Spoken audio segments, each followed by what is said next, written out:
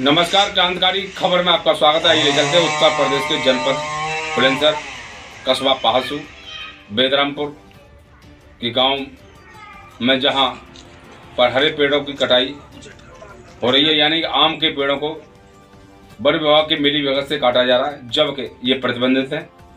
और जब वन विभाग से जानकारी चाहिए तो उन्होंने साफ़ इनकार कर दिया।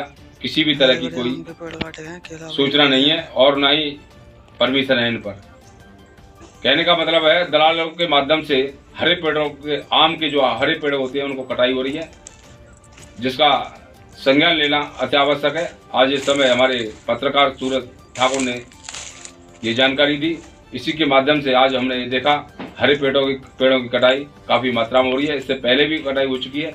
देखते रहिए क्रांतिकारी खबर के साथ रूप किशोर राजपूत की रिपोर्ट।